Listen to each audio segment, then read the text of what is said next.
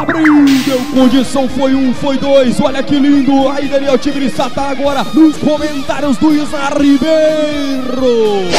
Então tá aí, fã do Rodeio Cristal. Agora que você sabe tudo, você pode virar pra sua namorada e fala: Vou virar um cowboy em touros. Dá um beijo nela e fala: Amor, eu te encontro por aí nas etapas do Circuito Cristal.